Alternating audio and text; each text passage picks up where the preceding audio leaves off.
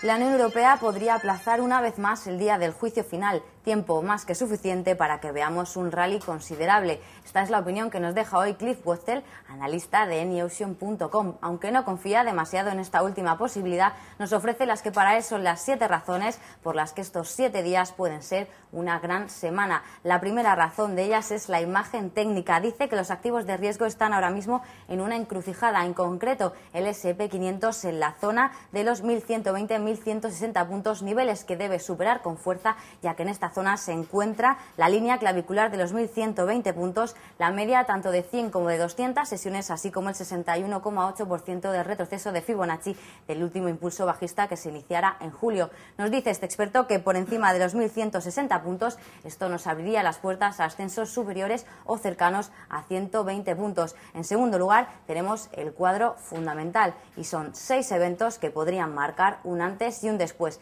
Primero está la reacción de los mercados a la reunión del G20 de este fin de semana. La versión corta, dice este analista, es que no hay detalles sólidos, pero parece que el mercado está queriendo dar el beneficio de la duda a las autoridades. Eso sí, no olvidemos que ya venimos del optimismo y podemos estar cansándonos. En segundo lugar, dice, el 23 de octubre podía darnos la claridad que necesitamos este día. La cumbre de líderes europeos podría traer consigo más quitas para la deuda helena. No olviden que la última vez que se involucró al sector privado en este sentido trajeron malas noticias y malos comportamientos para el mercado. Y en segundo lugar, una hoja de ruta para la integración fiscal y política, algo que necesitará, según este experto, mucho más tiempo del que el mercado puede dar.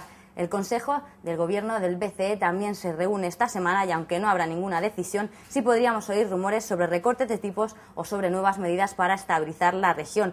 Las tres últimas razones de ese experto serían la del próximo viernes, 2.000 millones de euros en papel del Tesoro griego vencen este viernes 21 de octubre y aquí probablemente conoceremos cuánto tiempo más puede aguantar el país.